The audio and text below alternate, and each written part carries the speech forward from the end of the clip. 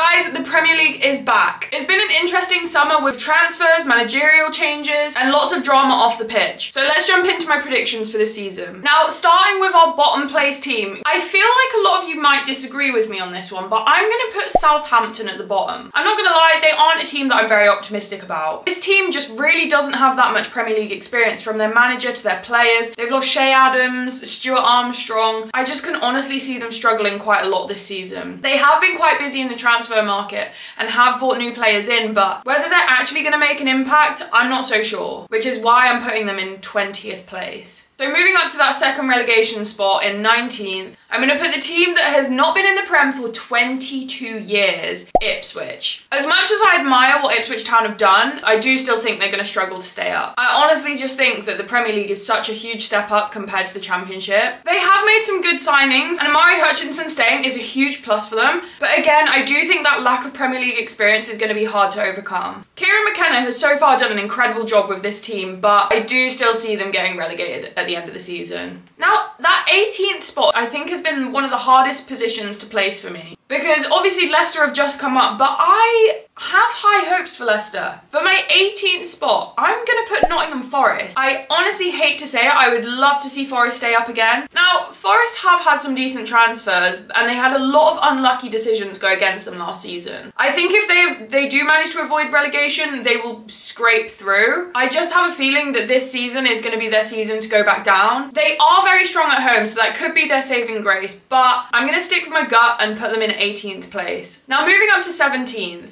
I do think that Leicester and Forest are going to be the two teams battling for relegation this season. Now, losing Dewsbury Hall has weakened their squad and I do think they're going to struggle. But they have got Steve Cooper who's come in, who I personally think did great things at Forest. Relegation could be on the cards for them, but I do think they will just hold on. Moving up the table into that 16th place, I'm putting Bournemouth. They had an incredible season last year and they have made some good signings with Sinisterra from Leeds. However, they have lost Solanke, who was a huge part of of their success last season. And so I think this could spell trouble for them. I personally don't think they'll get relegated, but I do think they're going to be a lot lower than they placed last season. Now for me, that 15th place is going to Brentford. I honestly thought Toney would be leaving Brentford this season. However, it's looking like he'll be staying. But they still really struggled last year and had a really poor season. So they do need to find some consistency this year. Whether they actually find it or not is another question. Again, I think they'll avoid relegation, but I think they'll be pretty low on the table, which is why I've put them in 15th. Now, 14th, I'm going with Wolves. I remember at the start of last season, a lot of people expected Wolves to really struggle and potentially face relegation.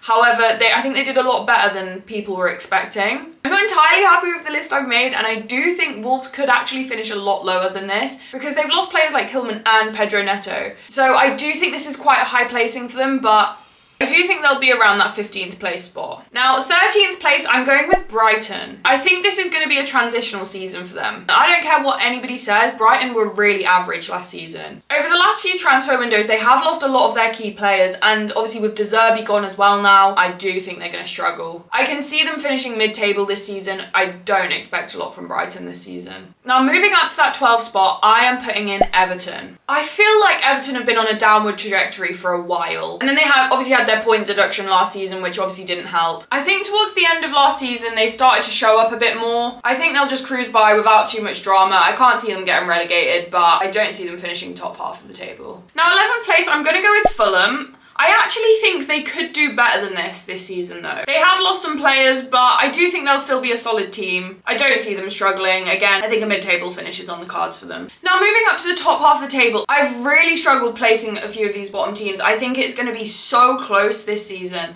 There's so many teams up there. Now, that 10th place spot, I'm going to give it to West Ham. Now, obviously, the David Moyes era is over. He's just left. I do think they've made some good signings with the likes of Summerville, Kilman coming in. They have been very busy this transfer window. I do think they'll do well this season. But I do also think there's a lot of teams that will also do well, and so this is why I've put them in 10th, 10th place. Now, ninth place I'm giving to Crystal Palace. They started to have a much better season under Glasner. Losing Olise has been a huge blow to them and still the potential of Eze leaving as well. I think I'm actually going to change my mind and put Crystal Palace in 10th and West Ham in 9th. If both of those players leave, I think Crystal Palace could really struggle without them. They have brought in some new faces. Whether they're going to be that impactful, I guess we'll have to wait and see. But I think they'll have a solid mid-table finish. Now, 8th place, I hate to say it, but I'm going to put Newcastle in 8th. Although they have no Champions League football to distract them this season, and I do think Eddie Howe is a great manager, last season they had so many injuries. If this happens again, they're just going to be in exactly the same boat, and without that squad depth, I think they're going to struggle to get that top six spot, so this is why I've put them in 8th.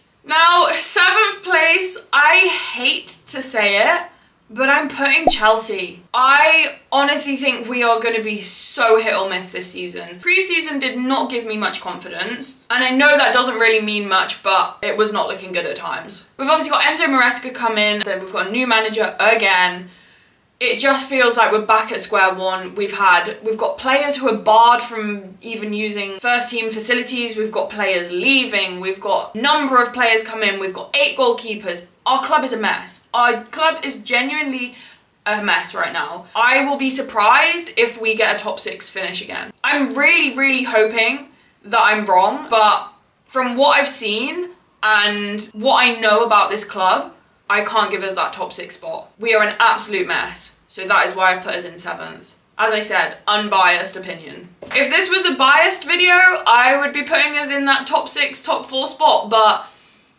I just can't, I can't see it happening. I just cannot realistically see it happening. We have got amazing players, but nothing seems to click. I genuinely think this manager could be gone by Christmas. I think we'll be back at square one again, and I can't predict us any higher or even for a European spot with the current state of the club. So moving up the table to those top six spots, in sixth place I'm putting Man United. Ten Hag is staying this season. I'm not convinced he is the right manager for the job. I was actually very surprised that he did end up staying. Obviously they won the FA Cup. I guess that was part of the reason behind that, but I just personally don't think he's the right man for the job. However, he is just brought all of his Dutch players over to United. You've obviously got De Ligt come in, but also they're going to be competing in Europe, and their league performance last season just wasn't that great. Can I see them improving on that?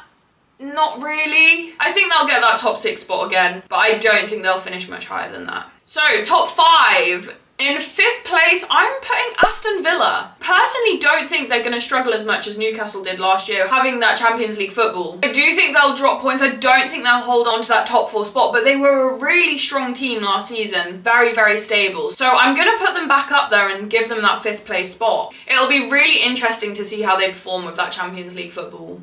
As I said, I've tried to be as unbiased as possible, and I hate it. As a Chelsea fan, this is awful. That fourth place is going to Spurs. Now, Postecoglou has exceeded expectations so far. He's done a lot better than I thought he, he would do. He's done a lot better than most people I speak to thought he would do. He has so much passion for such a shit club. Spurs just don't have a winning mentality. I think he could be the one to turn it around. I think they'll be in for a good season. They've obviously just signed Solanke, which is a brilliant signing for them. But it is Spurs, so you never know. Will they be able to handle the pressure? I guess we'll have to wait and see. But I am putting them in that top four spot. They were so close last season. I do think they'll get it this year. Now, that third spot, I'm going with Liverpool. I'm not gonna lie, they are gonna struggle without Klopp. Without a doubt. I think everybody knows it. As much as I think Slot is a great manager, it's to take them some time to adjust, but they still do have a solid squad. And so I think that they will hold on to that third place. It won't be the same force we've seen in recent years, but I do think they've got a very strong foundation and a solid team.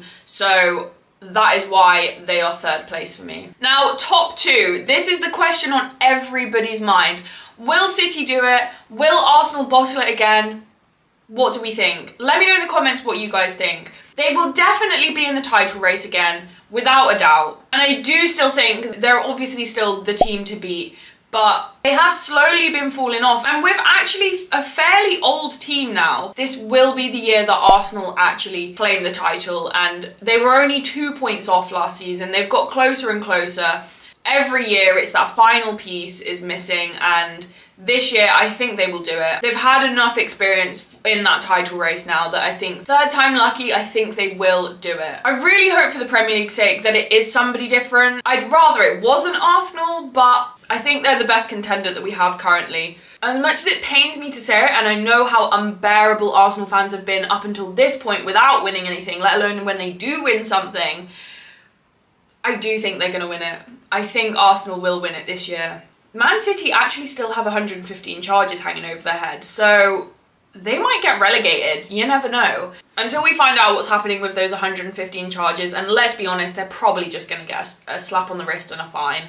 I think it's going to be another really tight title race this year, but I think Arsenal will pip it. So there you have it. That is my Premier League 24-25 season predictions. Let me know in the comments what you guys think and whether you agree or disagree with any of my picks. If you enjoyed this video, make sure to give it a like and subscribe, and I'll see you in the next one.